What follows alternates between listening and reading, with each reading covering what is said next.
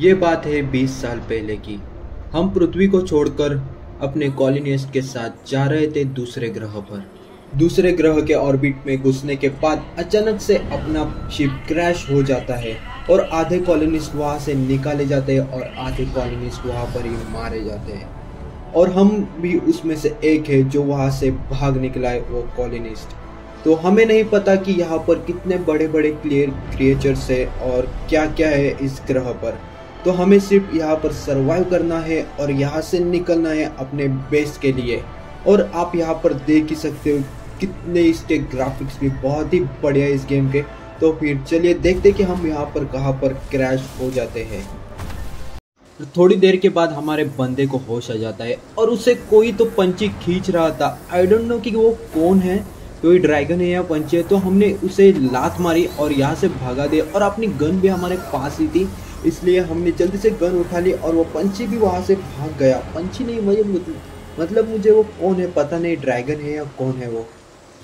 तो गाइज़ इस पंछी ने मुझे बहुत ही तंग किया था और साला मर भी नहीं रहा था कि हमने उसे मार दिया। और उसके बाद उसका एक भाई भी वहाँ पर आ चुका था। तो हमें इस लड़ने में बहुत ही तकलीफ़ हो रही तो हमने उससे भी मार दिया। इन पंछियों को मारने के बाद हम यहाँ से आगे चले गए और आगे चल के हमने छोटे मोटे क्रिएचर्स को मारा और उससे आगे चलने के बाद हमें बहुत सारे कुत्तों के जैसे कोई तो क्रिएचर्स हमें दिखाई दे रहे थे और वो किसी को तो खा रहे थे। ये नहीं पता कि वो हमारा बंदा था या किसी और का। तो गैस फाइनली हमने बहुत सारे कुत्तों को वहाँ पर ही लपेट दिया और ये बंदा, ये कुत्ता देखो भाई, इनके बीच में से क्या निकल रहा है? ये शॉक्स वेव कहाँ से निकल रहा है? ये भी नहीं पता और वो भाग रहा था, हमने उसे भी मार दिया और आगे चल के देखते तो ये बंदा तो अपना नहीं था। भाई, ये कौन सा क्रिएचर है, ये भी नहीं पता। और ओके गज तो ये कौन सा तो फूल है? ये लगता है ये पॉइजनस फूल है। तो हमें यहाँ इनसे बहुत ही दूर ही रहना होगा। तो तो ओके चलो हमें आगे का एरो दिखाई दे रहा है तो आगे चलते हैं और देखते हैं कि आगे हमें इससे बड़ा क्या दिखता है। और इसके ग्राफिक्स तो बहुत ही तगड़े और हमें आगे चलना होगा और अपने बंदों को यहाँ से निकाल कर भागना होगा। ओ भाई, ये कौन आ गया? मुझे लगता है ये बंदा है जो हमें स्टार्टिंग में हमें दिखाई दिया था। तो पता नहीं अब हमारे साथ क्या करेंगे। तो ओके गाइज़ हमें होश आ चुका है और पता नहीं कि हमें यहाँ पर कहाँ पर लाया गया है।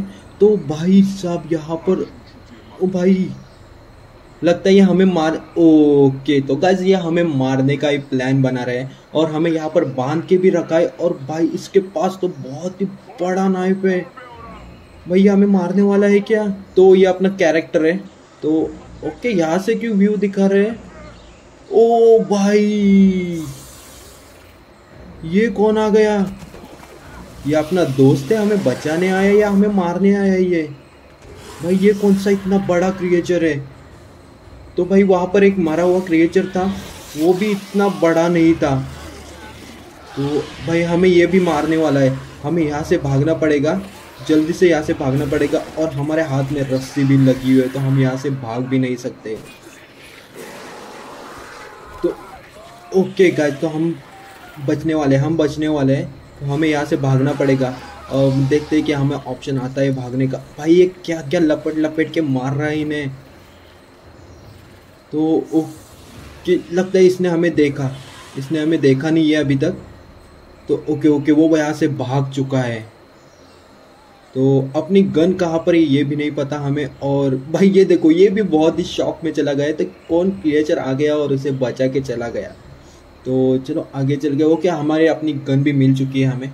तो हमें उसका पीछा करना पड़ेगा और उसे भी मारना पड़ेगा। तो ओके, आगे का एरो दिखाई दे रहा है। तो चलो, आगे चल के देखते हैं कि ओके गाइस तो ओ, ये कौन आ गया बीच में? तो भाई, तू हट जा। तो चलो, आगे चलते हैं और देखते हैं कि वो बंदा क्या ओके, ये यहाँ से ही गया है वो क्रिएचर तो हमें जल्दी से आगे चलना पड़ेगा। ओके भाई, आगे से किसी की तो आवाज़ ही है मुझे। तो आगे किसी को तो मार दिया। Okay okay okay okay guys तो वो क्रिएचर आगे ही है हमारे। हमें उसे सेफ़ डिस्टेंस रख के आगे जाना पड़ेगा क्योंकि वो हमें पीछे आकर मार भी सकता है। तो भाई, ये देखो भाई, ये कौन आते हैं बीच बीच में? तो आगे से हमें बहुत ही चिल्लाने की आवाज़ आई थी। लगता है यहाँ पर अपना ही बंदा है या कोई उनका बंदा। ओ गाइस फाइनली यहाँ पर अपना ही बंदा है यहाँ पर मारा गया उससे हाथों थोड़ा जल्दी आते तो ये बच सकता था पर कोई बात नहीं इसने हमें अच्छी सी गन दे दी है शॉर्ट गन तो हम इस गन से हम उसे लपेट सकते हैं। लगता है ये बेचारा यहाँ पर अकेला ही फंस गया था हमारे जैसे। तो आगे ओके गैस तो हमें आगे चलना पड़ेगा। तो ओके गैस तो यहाँ पर वो नीचे ही है तो हमें यहाँ से नीचे ही कूदना पड़ेगा। तो जल्दी से यहाँ से नीचे छलांग लगाते हैं और देखते हैं कि वो कहाँ पर है और नहीं। तो मुझे यहाँ से कहाँ से तो आवाज़ आई है उसकी। तो ये कहाँ से आएगा मुझे भी नहीं पता। तो हमें यहाँ पर सेफ़ डिस्टेंस उसे रख के उसे मारना पड़ेगा, वरना वो हमें ही मार देगा। थोड़ी देर के बाद वो क्रिएचर अपने पास भागता भागता आया और हमसे झगड़ा करने लग गया और इतना बड़ा था कि हम उसे मार भी नहीं सकते थे। तो उसने हमें मार दिया। तो उसके बाद हम फिर से उसे मारने के लिए वहाँ पर आ चुके थे। तो हमने उसे मारने की फिर से ट्राई की और उसने हमें फिर से मार दिया। और दो बार उससे मार खाने के बाद हम तीसरी बार फिर से वहाँ पर आ चुके थे उसे मारने के लिए। और इस बार हम उसे मार के ही जाने वाले कुछ भी हो जाए तो हमें उससे सेफ़ डिस्टेंस रख के मारना पड़ेगा और कवर लेकर उसे मारना पड़ेगा, ये तो मुझे पता था। तो हम उसे मारने के लिए यहाँ पर और तैयार हो चुके थे। तो हमने उसे बहुत बहुत देर तक फाइट की और फाइनली उसने हमें मारा और फिर से हमने उसे भी मार डाला। तो फाइनली हमने उस बहुत बड़े क्रिएचर को भी वहाँ पर मार दिया था और हमें एक भी अपना कॉलोनिस्ट यहाँ पर दिखाई नहीं दिया था इतने बहुत बड़े सफ़र में। तो हम वहाँ से आगे चल के बढ़ गए तो हमें नहीं पता था कि हम आगे चल के हमें बहुत सारे अपने बंदे मिलेंगे या नहीं मिलेंगे या फिर बहुत सारे क्रिएचर्स आगे तो हमें बहुत सारे मिलने ही वाले हैं तो हम वहाँ से चले गए आगे। तो हमें आगे चलने के बाद एक केव दिखाई दी और हम वहाँ से आगे चल के चले गए और हमने आगे देखा कि अपना बेस सामने ही था और वहाँ की ब्यूटी देख कर तो भाई मेरा तो पूरा दिल इस गेम पर आ चुका था। तो गैज इस गेम को यहाँ पर ही हम ख़त्म करते हैं। तो गैज आपको ये वाला एपिसोड अच्छा लगा हो तो लाइक और सब्सक्राइब ज़रूर कर देना। और मिलते हैं अगली वीडियो में। तब तक के लिए गुड बाय